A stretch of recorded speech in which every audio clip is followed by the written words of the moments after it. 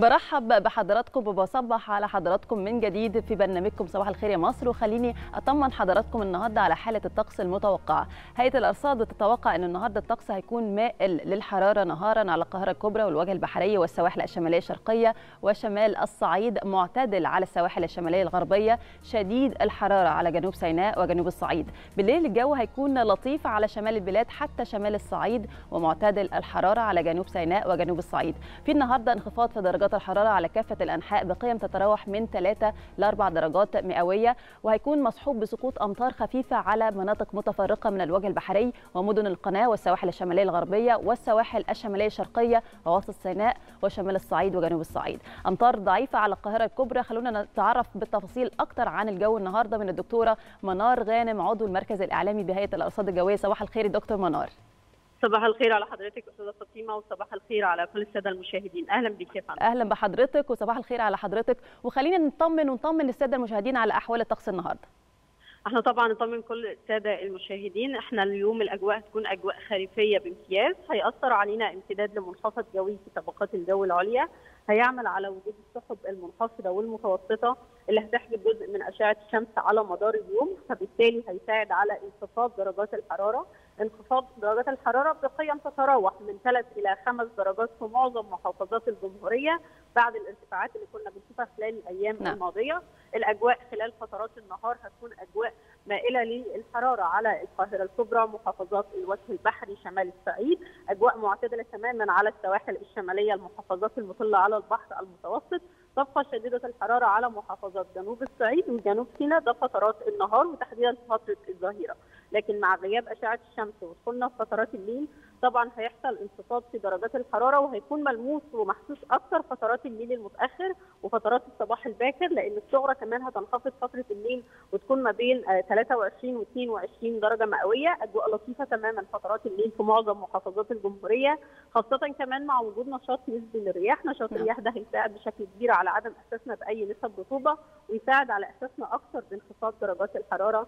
طبعا فرص الامطار مع وجود السحب المنخفضة والمتوسطة موجودة في معظم محافظات الجمهورية لكن كلها فرص أمطار خفيفة على السواحل الشمالية الوجه البحري القاهرة الكبرى مدن القناة محافظات شمال الصعيد كمان في أقصى جنوب البلاد والصحراء الغربية لكن كلها فرص أمطار خفيفة غير مؤثرة تماما على أي أعمال أنشطة يومية. كنا دائما بنتحدث دكتور منار إن وجود أمطار قد تكون رعدية في السواحل الشمالية فقط لكن امبارح لاحظنا إن سقوط أمطار خفيفة في مناطق مختلفة من القاهرة الكبرى. هل نتوقع إن سقوط الأمطار هيكون مستمر معنا في الفترة القادمة؟ وهل هيكون بنسبة ضعيفة أم لا؟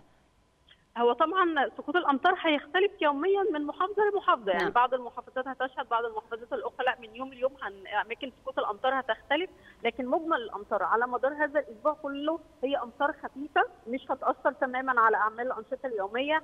هنشوفها اليوم في القاهرة الكبرى ويمكن كمان مع منتصف الأسبوع ممكن تتكرر مرة أخرى لكن مجمل أمطار الأسبوع ده كلها مش هتأثر على أعمال الأنشطة اليومية أو الأعمال الدراسية. الشبوره المائيه هتظل موجوده معانا فتره الصباح الباكر ساعات الليل المتاخر على اغلب الطرق الزراعيه والسريعه والقريبه من المسطحات المائيه لكن مش هتكون بنفس الكثافه اللي إحنا شفناها الأيام الماضيه بسبب وجود المنخفض الجوي فترات الليل والنهار فبالتالي نسب الرطوبه مش هنحس بيها بشكل كبير فبالتالي في شبوره مائيه لكن مش هتاثر كمان على حركه المرور تماما. مهم بس جدا ان إحنا ناخد بالنا بقدر الامكان لازم القياده تكون بهدوء تام فترات الصباح الباكر. مهم كمان ان إحنا في فصل الخريف فصل التقلبات الجوية الحادة والسريعة والتغير في خريطة الطقس إن إحنا نتابع النشرات الجوية أكيد. لكن الحمد لله الأحوال الجوية مستقرة تماما الأجواء الخريفية وانخفاض درجات الحرارة مكمل معانا حتى نهاية الأسبوع ده على الأقل بإذن الله. أشكرك شكرا جزيلا الدكتوره منار غانم عضو المركز الإعلامي بهيئة الأرصاد الجوية. شكرا جزيلا لك. دلوقتي هنروح نتابع مع حضراتكم درجات الحرارة المتوقعة والبداية دائما من القاهرة العظمى 31 الصغرى 23 العاصمة الإدارية 31 23 اسكندرية 29 22 العالمين الجديدة 29 22 مطروح 28 21 العظمى في دمياط 30 الصغرى 24 بورسعيد 30 24 إسماعيلية 33 23 بالنسبة للسويس 33 23 العريش 31 24 كاترين أو كاترين 29 15 طابة 30 24 حلايب 35 26 شلاتين 39 27 شرم الشيخ 38 28 الغردقة 38 27 بالنسبة للفيوم 33 23 بني سويف 33 22 الوادي الجديد 40 27 أسيوط 35 22 سوهاج 39 23 قنا 41 27 الأقصر 43 27 أسوان 43 29 عودة للزملاء لاستكمال باقي فقرات صباح شكرا لك يا. فاطمة